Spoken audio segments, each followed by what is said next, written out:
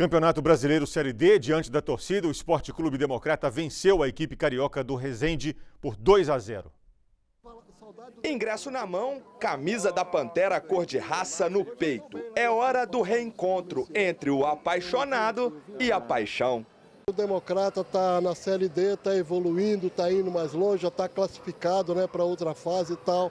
Aí dei um estalo, eu estava em casa ontem, falei, não, vou para Valadares, vou rever meus amigos, fui no bairro São Pedro lá, encontrei alguns amigos, tem uns aí, falaram, você, apareceu, não sei o quê, eu falei, vou lá ver o Democrata. É uma paixão que não morre, eu acompanho pelas redes sociais e aquela ansiedade, sabe?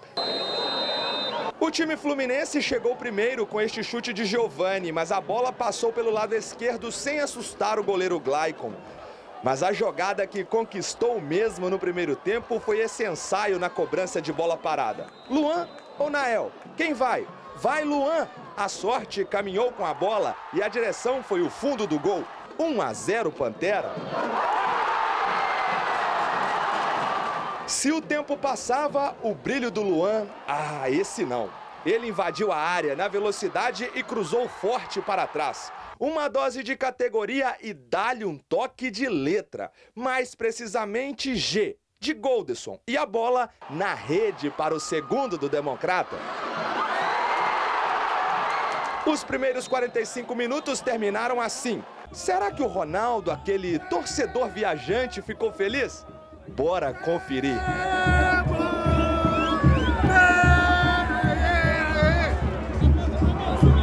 Era essa festa para o segundo tempo e ele veio. O Rezende chegou primeiro, com Emerson pela esquerda. Só que o Bandeirinha flagrou o impedimento na jogada. Daí em diante, o ritmo caiu, com paralisações para atendimento médico e substituições. Aos 22 minutos, uma cena lamentável. O lateral esquerdo Douglas do Rezende recebeu o segundo cartão amarelo e foi expulso. Ele não aceitou a decisão do árbitro e precisou ser contido pelos companheiros. Foi necessária a presença da polícia militar em campo para que o atleta deixasse o gramado. Minutos antes do jogo acabar, ainda deu tempo do goleiro Glaicon mostrar a que veio e fazer esta defesa e do Rezende ter uma última tentativa em cobrança de escanteio. Mas não teve jeito. A noite terminou com celebração no estádio José Mahmoud Abas. E nós temos um jogo contra o, o Santo André agora, é, lá em São Paulo, onde nós vamos ver quem é que vai ter condição, como é que vai estar a situação. A gente não vai deixar de fazer o nosso trabalho. Nós estamos classificados? Estamos. Mas o objetivo grande desse jogo é dar ritmo para quem precisa pegar ritmo. Tem jogadores chegando, tem dois aqui, não sei se foram apresentados para vocês ou não.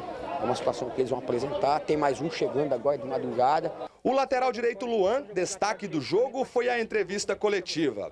E não segurou a emoção diante da maravilha de noite de segunda-feira que viveu. Estou muito feliz, é isso. A gente começou muito, é, venho trabalhando muito. Ontem no treino, né? Eu fiz um gol desse jeito e hoje fui feliz de novo de treino, né? Treino é jogo, né? Agora, a gente sabe que revisitar o passado pode ser arriscado demais. No entanto, essa visitinha aqui vale a pena.